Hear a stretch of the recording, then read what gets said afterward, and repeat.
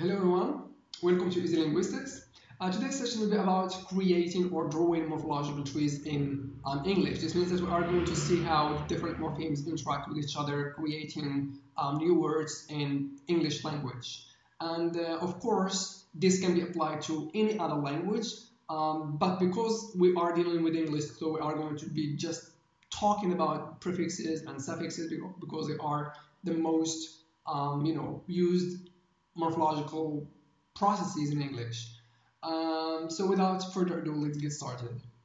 So before drawing any morphological tree for any word, we have to divide the word into different mor morphemes. So we have to know the different suffixes, prefixes, and roots that make up the word that we are dealing with. So for example, this insincere, insincerity is made up of three different morphemes. So we have this in prefix, we have this sincere, which is the root, and which is an adjective, and then we have this it, which is a suffix. And uh, second of all, we have to label each morpheme. So this in, as I said, is a prefix, sincere is an adjective, and it is a suffix.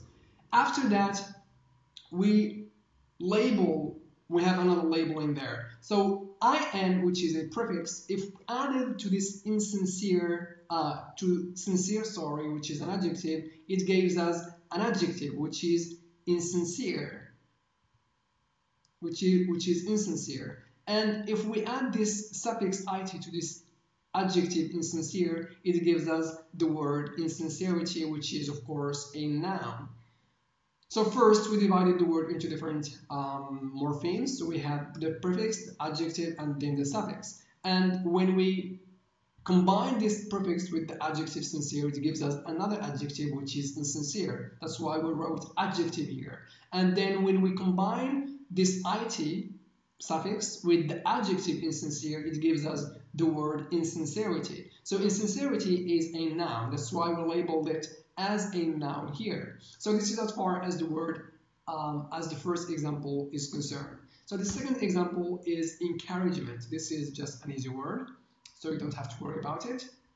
Encouragement. So we have to do the same thing. We have to divide the word into different morphemes. So we have this, this word is also made up of three different morphemes. So we have this en, this carriage, and this ment and we have to label each um, each morpheme. So en, which is a prefix, carriage, which is the root, and which is a noun, and ment, which is a suffix. And then if we combine the prefix with the noun carriage, it gives us the word encourage, which is a verb. That's why we wrote here a verb. And if we combine this ment suffix with the the, the, the verb encourage, it gives us the word encouragement. That's why we wrote here noun, because encouragement is a noun. So this is um, as far as the second example is concerned. Now let's move to the third example. So we have overgeneralization. It may sound a complex word to work on, but it is not. So we have just to um, divide the word into different morphemes, as I said earlier. So this word is made up of four different different uh, morphemes. So we have this over, generalization. And we have over, which is a prefix, general, which is an adjective, suffix, this I, ize, which is a suffix, and ation, which is a suffix. Second of all, we can do this. So if we combine the over prefix with the adjective general, it gives us the word over general, which is a, an adjective. And if we combine the ize um, suffix with the adjective overgeneral, it gives us the word overgeneralize. And overgeneralize, as you can see, is a verb. Then we combine this ation with the verb with the verb overgeneralize, and it gives us the word overgeneralization. And as you can see here, overgeneralization is a noun. That's why that's why we have labeled it as a noun. So it's not as um, as, as hard as it seems. So the, the next word is contextualization. So we have to do the same thing. We have to follow the same steps. So we, we divide the word into different morphemes. So we have here um, one, two, three, four, five different uh, morphemes. And uh, we have con, which is a prefix, we have the, the root, which is a noun text. We have suffix, three different suffixes here. And uh, then we can do this.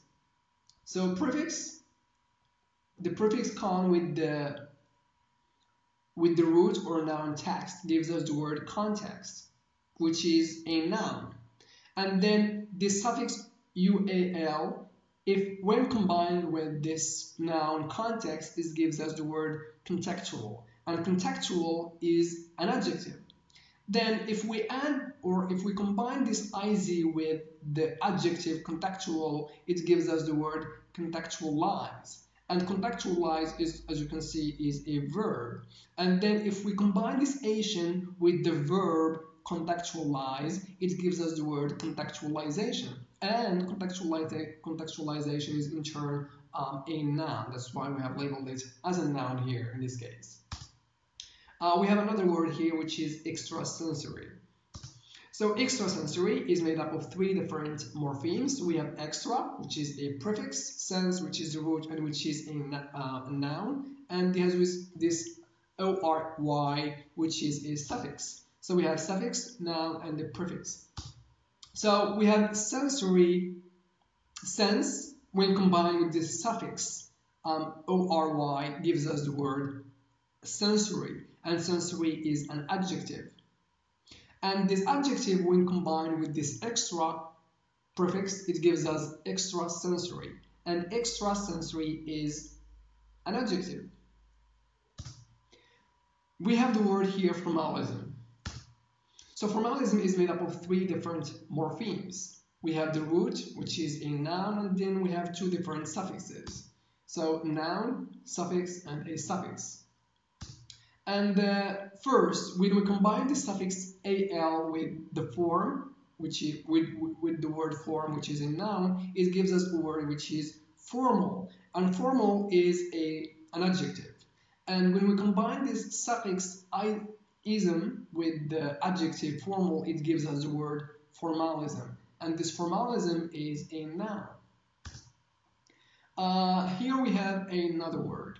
So can you work this word by yourself? Can you do it? Can you draw a morphological tree for this word by your, on your own? You can just pause the video to see if you can do it.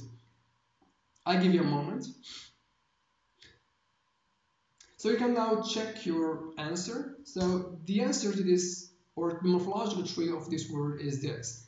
Even though it may sound very complex at first, but it is not. As I said, we have just to follow the steps I have followed um, when drawing morphological trees of the previous words. Even though they may sound, they have, they, they sound, um, they sound, they sounded very complex, but they were not that complex at all.